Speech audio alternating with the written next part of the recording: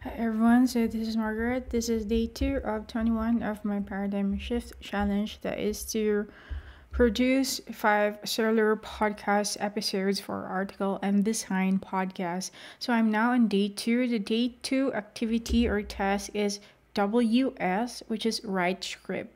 So I'm going to write the first script, I mean first challenge episode that I'm going to do, which is a high paying freelance jobs for freelancers that they could start or the in-demand skills that they could start today. So as you can see, I am just writing down um, options or services that I'd like to discuss on the podcast. But um, I'd like to emphasize, guys, that I didn't just like write this on my own. This is based on the research and resources that I had a while ago. So I did um, 10 to 15 minutes of research on Google what are the free uh, high paying jobs, uh, freelance skills that we can start. And of course, I just implemented it here. Um, on the published podcast episode, I'm going to add the links of my resources.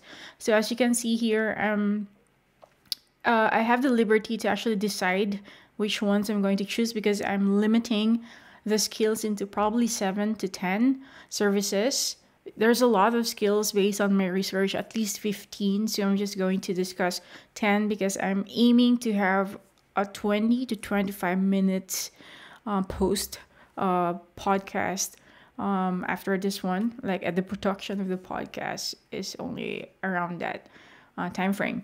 So as you can see, I'm going to start uh, choosing um, some services that I think would be beneficial for my audience in the Article and Design podcast.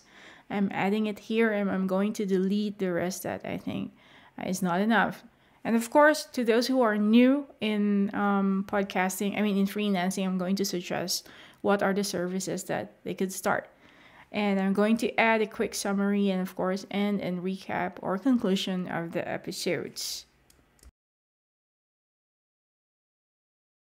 All right, so I'm not going to finish um, writing uh, this right now. I'm going to continue writing after I pause this recording, but I'm going I'm just gonna show you how I write the script. So basically, I write my own scripts on the podcast, and those scripts are just guidelines. So I'm not reading it or etc. Uh, those are just my guide on what to discuss. Basically, when I record the podcast, because I wanted it to be natural. I'm just doing my ad lib based on my experiences and based on the research that I've done. So the thing here, so that I could um, share a lot of useful information in the podcast, is that I have to read first which I'm going to do tomorrow. I have to read first and read again my script and then research on it. And that's the time I'm going to do my ad lib. And I'm going to use the script as my guide while I'm recording the podcast.